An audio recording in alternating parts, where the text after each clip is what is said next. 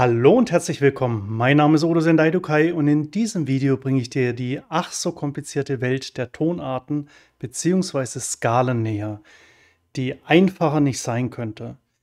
Mit diesem Wissen wirst du in Zukunft viele zusätzliche Tools einfach nicht mehr brauchen. Du glaubst mir nicht? Dann schau selbst. Legen wir mal los. Hey, ja, sag, ja, im letzten Tutorial zu den Basics von Tasten und Tönen habe ich ja schon einiges über die weißen und schwarzen Tasten, deren Namen und Tonhöhe erzählt. Des Weiteren auch die chromatische und die pentatonische Tonleiter gezeigt. In diesem Video will ich auf die diatonischen Tonleitern, also Dur-, Moll- und Kirchentonleitern, eingehen. Das ist eine kleinere siebenstufige Untermenge der chromatischen Tonleiter mit den zwölf Stufen. Die diatonischen Tonleiter sind die, die wir heutzutage am meisten benutzen. Und danach wirst du alle Skalen der Kirchentonleiter Moll und Dur für immer kennen und ganz einfach herleiten können. Ich werde ausschließlich die internationale Tonbezeichnung wie B statt H und Sharp und Flat statt Is und S nehmen. Dazu habe ich im ersten Teil viel erklärt, auch woher das H im Deutschen kommt. Und zum Schluss gibt es noch ein paar Fun Facts für die Interessierten unter euch. Was ist eine diatonische Tonleiter oder Skala? Diatonik kommt mal wieder aus dem Griechischen und heißt durch Ganztöne gehend. Die diatonische Tonleiter ist aus Ganz- und Halbtönen zusammengesetzt und besteht in der Regel aus sieben Tönen bzw. Stufen. Ganztöne sind einfach nur zwei Halbtöne zusammengefasst. Stufen sagt man, weil das eine kleinere Auswahl von Tasten oder Tönen aus einer größeren physisch vorhandenen Menge ist. Also von den zwölf chromatischen Tönen bzw. Stufen, das deckt sich in diesem Fall 1 zu 1, wählt die diatonische Tonleiter sieben aus den insgesamt zwölf Tönen für sich aus. Wie so eine Schablone. Das ist enorm wichtig bei der Abzählerei. Die bekanntesten diatonischen Tonleitern sind die Kirchentonleiter oder moderner Kirchenmodi und Moll und Dur. Wie vorhin schon gesagt, ist die siebenstufige diatonische Tonleiter oder Skala eine Untermenge der zwölf halbtonchromatischen Skala. Höher oder niedriger wiederholt sich das gleiche Muster immer wieder. Das heißt, mit der achten Stufe wiederholt sich die diatonische Tonleiter und diese Stufe wird dann Oktave genannt. Das Wort Oktave kommt aus dem Lateinischen und heißt einfach nur die achte. Interessant am Rande ist, dass ein Oktavensprung immer im Herz-Frequenz-Verhältnis 2 zu 1 stattfindet. Also springt man von einem A3 mit der Frequenz von 220 Hertz eine Oktave höher, so kommt man zum A4, dem bekannten Kammerton mit der Frequenz von 440 Hertz. Entsprechend dann nur die Hälfte, wenn man eine Oktave runter auf das A2 springt, mit 110 Hertz. So, und jetzt historisch und logisch korrekt beginne ich mit den Kirchentonleitern oder eben modern den Kirchenmodi. Die Kirchentonleiter sind alt und waren bis ca. dem 16. Jahrhundert der Standard. Daher fange ich auch mit dem A an, das damals die Stammtonreihe war und gehe dann die Tasten bzw. die Töne aufwärts. Also A, B, C, D, E, F, G. Das Schöne hierbei ist, dass der Kirchenmodus mit dem Ton bzw. dem Buchstaben, den ich nenne, immer nur die sieben weißen Tasten in der Skala hat. Äolisch fängt mit einem A an. Dann nur die weißen Tasten, also A, B, C, D, E, F, G. Aeolisch kann man sich gut merken und Aeolisch ist identisch mit dem natürlichen A-Moll. Lokrisch fängt mit dem B an und hat dann auch nur die weißen Tasten. B, C, D, E, F, G, A. Das Lokrisch ist ein wenig verrückt oder auch Loco wegen des deutschen Hs und weil es die Kirchentonleiter früher gar nicht gab. Sie wurde in der neueren Zeit als Vervollständigungsmodus hinzugefügt. Also B ist etwas lokologisch. Ionisch fängt mit dem C an, dann nur weiße Tasten C, D, E, F, G, A, B. Ironischerweise ist das Ionisch C identisch mit dem C-Dur. Dorisch fängt mit dem D an. D, E, F, G, A, B, C. Dorisch mit D. Phrygisch fängt mit dem E an. E, F, G, A, B, C, D. Hier merke ich mir ähm, kein E in Phrygisch. Lydisch fängt mit dem F an. F, G, A, B, C, D, E. Ich merke mir das mit Frieda und Lydia machen Musik. Mixolydisch fängt mit einem G an. G, A, B, C, D, E, F.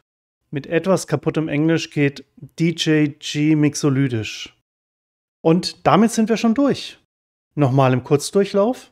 A äolisch, natürliches Moll, meine. B lokrisch, loco. C ionisch, ironisch C-Dur oder Major. D dorisch. E phrygisch, ähm, phrygisch. F lydisch, Frieda und Lydia. G mixolydisch, DJ G, DJ G mixolydisch. Du denkst jetzt bestimmt, ja cool, ich weiß jetzt, welche Stammtonreihen mit nur weißen Tasten wie heißen, aber was mache ich, wenn ich bei Dorisch nicht mit dem Grundton D, sondern mit dem Grundton E anfangen will? Gut, dass du fragst. Nichts einfacher als das. Du weißt ja, dass Dorisch beim D nur weiße Tasten hat und daher zählst du jetzt alle Abstände bzw. Halbtöne zwischen den Stufen bzw. den Tönen der Tonleiter und überträgst das auf das E. Lass uns das zusammen machen. Zuerst das Dorisch mit den nur weißen Tasten. Vom D ausgehend sind das die Stufen bzw. die Töne der Tonleiter D, E, F, G, A, B, C. Die Halbtonschritte sind dann 2, 1, 2, 2, 2, 1. Ein sehr hilfreicher Tipp beim Abzählen der Schritte ist, dass bei der Stammtonreihe, also den nur weißen Tasten, an der Stelle mit einer schwarzen Taste in der Mitte immer zwei Halbtonschritte sind. Ist ja logisch. Also hast du es massiv einfacher, wenn du schwerpunktmäßig die schwarzen Tasten betrachtest. Und wenn du abgezählt hast, dann wiederhole wie so ein Papagei laut vor dich hin diese Serie etwas rhythmisch zwei bis dreimal. Also 2, 1, 2, 2, 2, 1. 2, 1, 2, 2, 2, 1. 2, 1, 2, 2, 2, 1. Und das wendest du jetzt auf E an dann bekommst du E, F Sharp, G, A, B, C Sharp, D. Oder nehmen wir A phrygisch. Bei phrygisch ist ähm, E die nur weißen Tasten Stammtonreihe. E, F, G, A, B, C, D. Also zählen wir die zuerst ab. 1, 2, 2, 2, 1, 2. Dann wenden wir das auf das A an. A, A Sharp, C, D, E, F, G. Und das geht natürlich auch mit sowas wie D Sharp Lokrisch. Lokrisch ist das Loco B, weiße Tasten. Und abgezählt ergibt das 1, 2, 2, 1, 2, 2. Klingt irgendwie wie ein Walzer. 1, 2, 2, 1, 2, 2. Und jetzt auf D-Sharp logisch transponiert. D-Sharp, E, F-Sharp, G-Sharp, A, B, C-Sharp. Das geht doch immer einfacher von der Hand, oder? Die Kirchentonleitern wurden dann im Laufe des 17. und 18. Jahrhunderts vom sogenannten Dur-Moll-System oder der Dur-Moll-Tonalität abgelöst. Das Wort Moll kommt vom lateinischen molles und bedeutet weich und heißt im Englischen meine. Das Wort Dur kommt vom lateinischen durus und bedeutet hart und heißt im Englischen Major. Und eigentlich habe ich schon alles vorweggenommen. Die natürliche Moll-Stammtonreihe ist das A-Moll. Das ist ja auch identisch mit dem Äolisch und hat nur weiße Tasten und ist auch der Anfang des Alphabets A, B, C, D, E, F, G.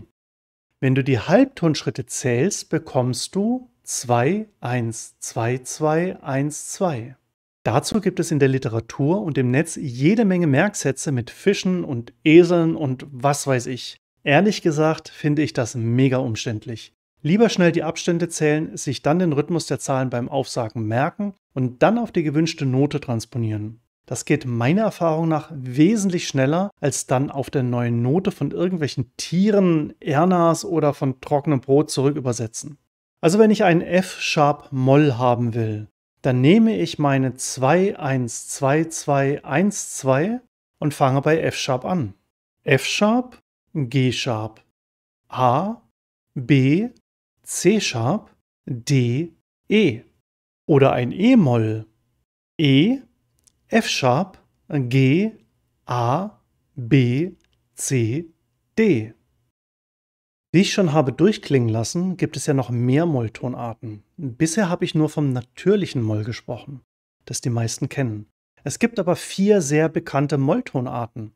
Das natürliche Moll, Natural Minor, das harmonische Moll, Harmonic Minor, das melodische Moll, Melodic Minor und das ungarische bzw. das historische Zigeunermoll, Hungarian Minor. Diese unterscheiden sich ein wenig von den Halbtonschritten vom natürlichen Moll, das wir jetzt mittlerweile sehr gut kennen. Wie das aussieht in aller Kürze ausgehend vom natürlichen Moll. Beim harmonischen Moll wird die siebte Stufe des natürlichen Molls um einen Halbton erhöht. Beim melodischen Moll wird zur erhöhten siebten Stufe des harmonischen Molls die sechste Stufe ebenfalls erhöht. Und beim ungarischen Moll wird zur erhöhten siebten Stufe des harmonischen Molls die vierte Stufe um einen Halbton erhöht. Der sogenannte Hiatus, der sich für die europäische Musik sehr exotisch anhört. Bei Dur oder Major ist es dasselbe System. Das C-Dur ist ja ironischerweise identisch mit dem Kirchenmodus C-Ionisch, also nur weiße Tasten. Vom C zählen wir jetzt auch wieder die Halbtonabstände der weißen Tasten. 2, 2, 1, 2, 2, 2. Geht schon schneller. 2, 2, 1, 2, 2, 2. Jetzt aber ein B-Dur Major. B, C-Sharp, D-Sharp, E, F-Sharp, G-Sharp, A-Sharp. Oder was total wild ist, ein G-Flat-Dur oder Major. G-Flat, A-Flat, B-Flat, B, D-Flat, E-Flat, F. Diese Technik mit dem Abzählen musst du dann immer seltener machen, weil du zum einen sicherlich ein paar Lieblingsskalen haben wirst, die du dann schon kennst, und zum anderen lernst du das automatisch auswendig, je öfter du das machst. Und dann gibt es noch eine Verbindung zwischen Moll, Minor, und Dur, Major. Und zwar ist das die Tatsache, dass A-Moll und C-Dur beide nur weiße Tasten in der Skala haben. Es sind dann nur der Start, also die Grundtöne, und die Halbtonabstände, die den Unterschied für die Stimmung ob Moll Minor oder Dur Major ausmachen. Diese Verbindung wird Paralleltonart genannt. Von Moll aus gesehen wird C-Dur die Dur-Parallele genannt. Und von C-Dur aus gesehen wird A-Moll die Moll-Parallele genannt. Jedes Moll und jedes Dur hat so eine Parallele. Und dahin kommt man auch sehr, sehr einfach. Wieder ausgehend von A zählst du einfach die Halbtonschritte zu C hoch. Das sind exakt drei Halbtonschritte. Oder wie es in der Musik heißt, eine kleine Terz. Terz ist lateinisch und heißt einfach nur die dritte. Und genauso geht das auch von C-Dur aus. Drei Halbtonschritte oder eine kleine Terz runter und du landest beim A-Moll. Vom Moll drei Halbtonschritte hoch und du landest bei der Dur-Parallelen. Von Dur drei Halbtonschritte runter und du landest bei der Moll-Parallelen. Und wie gesagt, die jeweilige parallele Tonleiter oder Skala hat exakt dieselben Tasten, fängt nur mit einem anderen Grundton an. Nochmal zusammengefasst. Kirchenmodi oder Kirchentonleitern, Dur und Moll sind diatonische Tonleitern. Diatonische Tonleiter bestehen aus sieben Stufen oder Tönen, also einer kleineren Auswahl der zwölfstufigen chromatischen Tonleiter. Die Abstände zwischen den Stufen können Halb- oder Ganztöne sein. Nach den sieben Stufen beginnt die nächste Oktave mit erneut sieben Stufen. Oktave heißt acht. Bei den Kirchenmodi bzw. Tonleitern sind die Stammtonreihen mit den nur weißen Tasten A äolisch, B lokologisch, C ironisch ionisch, D dorisch, E ähm, phrygisch, F Frieda und Lydia lydisch, G DJ G mixolydisch. Beim natürlichen Moll ist die Stammtonreihe das A mit nur weißen Tasten. Es gibt neben dem natürlichen Moll noch weitere Molltonarten wie das harmonische Moll, das melodische Moll, das ungarische Moll. Beim Dur ist die Stammtonreihe das C mit nur weißen Tasten. Wenn man die Halbtonschritte der Stammtonreihen abzählt, kann man sich ganz einfach mit dieser Schablone jede andere Tonart herleiten. Zwischen Moll und Dur gibt es eine Verbindung, die Paralleltonart heißt und deren Gemeinsamkeit darin besteht, dass sie exakt dieselben Töne in ihrer Tonart haben. Sie beginnen aber mit einem anderen Grundton. Die jeweilige Paralleltonart bekommt man, indem man drei Halbtöne hoch oder runter abzählt. Insgesamt gilt wie immer, je öfter du das wiederholst und auch praktisch ohne Hilfen übst, desto schneller wird es dir von der Hand gehen und desto schneller wirst du das auch einfach auswendig können. Und wer jetzt immer noch nicht genug hat, hier noch ein paar interessante Fun Facts. Die dorische Tonleiter D entstand im antiken Griechenland, hieß dort zunächst jedoch phrygisch. Sie galt dort als diejenige Skala, die die Moral des Volkes und die Kampfeskraft der Krieger stärkte. Im frühen Mittelalter kam es durch ein Missverständnis zur Verwechslung mit dem phrygischen Modus. Das Dorische wurde später in der christlichen Kirchenmusik des Mittelalters, aber auch im Minnesang und in Volksliedern verwendet. Es gibt auch das Zigeunerdur, das aber eher die arabische Tonleiter heißt. Sie startet auf der Grundlage der phrygischen Tonleiter, du erinnerst dich eh mit den weißen Tasten. Daraus wird dann mit der Erhöhung der dritten Stufe um einen Halbton die phrygisch dominante Tonleiter, die sehr viel in der Klezmermusik gebraucht wird.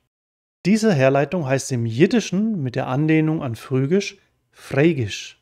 Und um dann das Zigeunerdur bzw. die arabische Tonleiter zu erhalten, wird noch zusätzlich die vierte Stufe um einen Halbton erhöht. Der erste Takt des Liedes Korobeniki, besser bekannt als Tetris-Thema, beginnt beispielsweise phrygisch dominant, löst sich aber im nächsten Takt zum harmonischen Moll auf. Die phrygisch dominante Tonleiter oder kurz phrygisch Dur wird je nach Zweck oder Region auch die orientalische, wie im hebräischen Ahava Rabo, oder dem türkisch-arabischen Hijaz, die jüdische Phrygisch oder kombiniert die spanisch-phrygische Tonleiter genannt, wie sie oft im Flamenco genutzt wird. So, das war's dann auch schon wieder. Mein Name ist Odo Sendaidokai, danke für deine Zeit und deine Aufmerksamkeit und ich hoffe, dich im nächsten Video wiederzusehen. Bleib gesund und rette die Zukunft. Mach's gut, bis dann. Ciao, ciao.